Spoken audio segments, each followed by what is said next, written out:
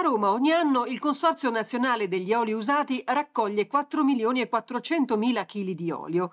È uno dei dati emersi nel corso dell'iniziativa Roma Circolare per una nuova economia. La capitale fa la differenza, organizzata in Campidoglio dall'assessorato all'agricoltura, ambiente e ciclo dei rifiuti di Roma Capitale. L'economia circolare è un modello di sviluppo che mira a ridurre lo spreco di risorse e a promuovere la raccolta, il riutilizzo e il riciclo dei materiali.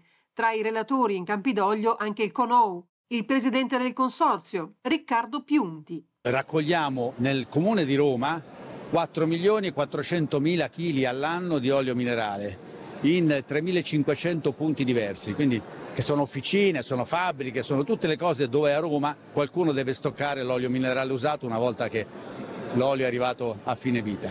In più noi siamo presenti in 10 centri di raccolta dove raccogliamo 44.000 kg di olio usato, nei centri di raccolta comunali dove abbiamo i nostri serbatoi e dove il cittadino che ancora si occupa del fai da te, perché ancora qualcuno lo fa, porta l'olio minerale.